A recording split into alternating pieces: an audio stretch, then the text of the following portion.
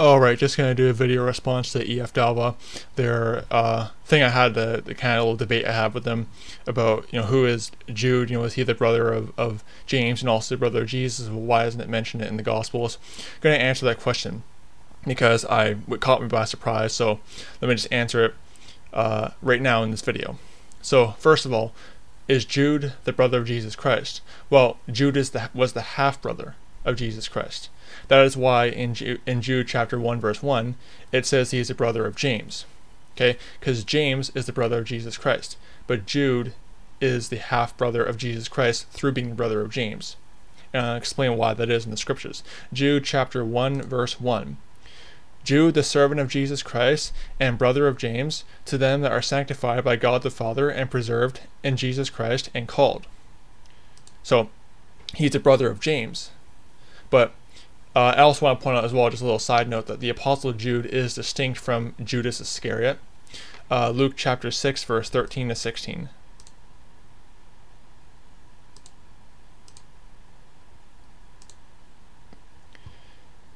And when it was day, he called unto him his disciples, and of them he chose twelve, whom he whom, whom he named apostles: Simon, whom he also named Peter, Andrew his brother, James and John, Philip and Bartholomew, Bartholomew, sorry, uh, Matthew and Thomas, James the son of Alphaeus, and Simon the son of Zel- Zelotios, Zelotes, hope I'm saying that right, and Judas the brother of James, and Judas Iscariot, which also was the traitor. John chapter 14, verse 22.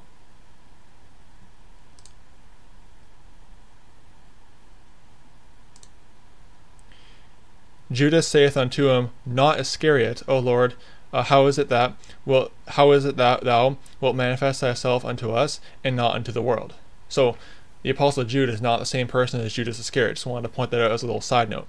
But he's the half brother of Jesus Christ, and reason why that's so is because Jesus was the only child of Mary who was conceived by the Holy Ghost while she was a virgin.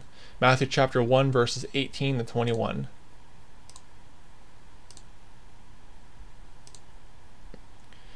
Now the birth of Jesus Christ was on this wise, when as his mother Mary was espoused to Joseph, before they came together, she was found with child of the Holy Ghost.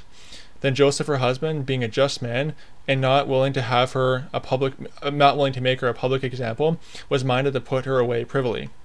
Uh, but while he thought of these things, on these things, behold, the angel of the Lord appeared unto him in a dream, saying, Joseph, thou son of David, fear not to take thee, take unto thee Mary thy wife, for that which is conceived in her is of the Holy Ghost.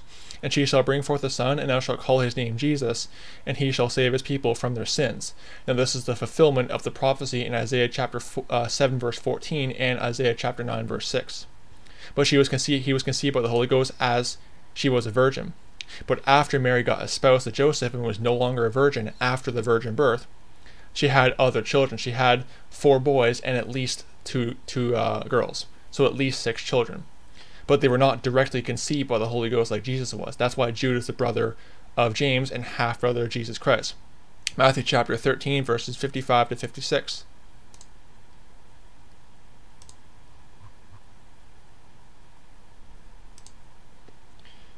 Is this not the carpenter's son? Is not his mother called Mary, and his brethren James and Joseph and Simon and Judas? And his sisters, are they not all with us? Whence then hath this man all these things? Hath this man all these things? So he has brothers, he has at least four brothers and two sisters, refutes the Roman Catholic lie of the perpetual virginity of Mary. Also, you can see Psalms chapter 69, verses 8 to 9, where it talks about my mother's children. And David is a typology of a New Testament Christian and also the forerunner of Jesus Christ. Acts chapter 1, verses 13 to 14.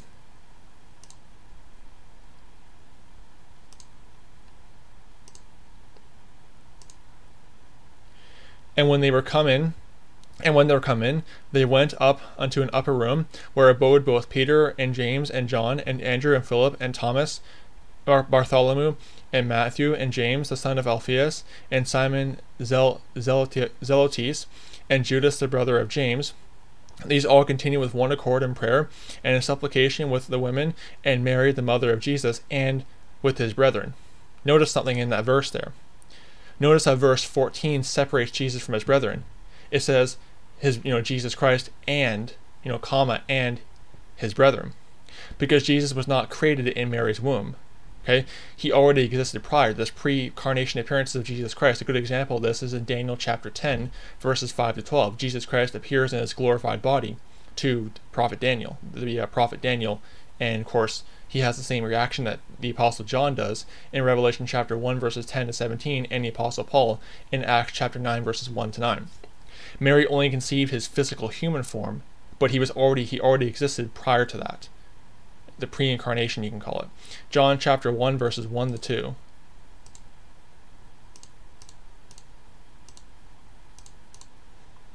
In the beginning was the Word, and the Word was with God, and the Word was God.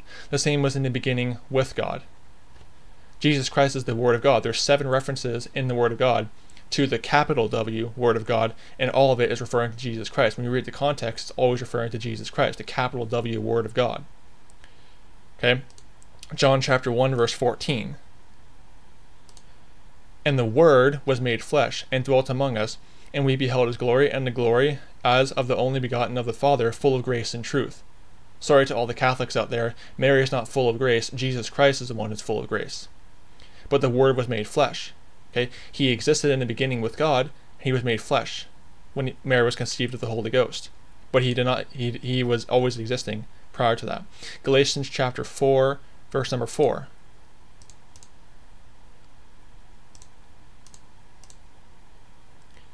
But when the fullness of the time was come, God sent forth his Son, made of a woman, made under the law. So, Jesus Christ was sent forth a woman made under the law. But he always he's already existed. Because if God is going to send forth his Son for that to happen, he would have had to have existed prior to that uh, 1 Timothy chapter 3 verse 16. And there's so many scriptures I can, scriptures I can cover. This is just a few of them. 1 Timothy chapter 3 verse 16. And without controversy, great is the mystery of godliness. God was manifest in the flesh, justified in the spirit, seen of angels, preached unto the Gentiles, believed on in the world, and received er, and received up into glory. And Romans chapter 8 verse 3.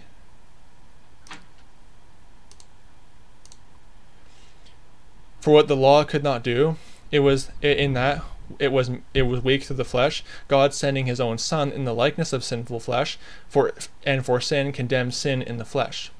So what's going on is that Jude chapter 1 verse 1 says Jude is the brother of James because Jude was the half brother of Jesus Christ via being the brother of James. But Jesus is often made distinct from his brethren that Mary had after the virgin birth.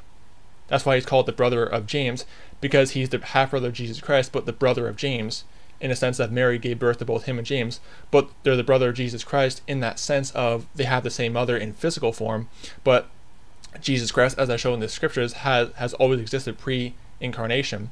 So he's only the half brother of Jesus Christ, but he is the brother of James. And hopefully that answers the question to the Muslims over at EF Dawah. He's the half brother of Jesus Christ, but he's the physical brother of James. It's the mystery of godliness, by the way. Great is the mystery of godliness. God was manifest in the flesh, but He's always existed prior to that. So I just wanted to show you that. Uh, this is my response to EF Dawah. May the grace of our Lord Jesus Christ be with all the brethren. Goodbye.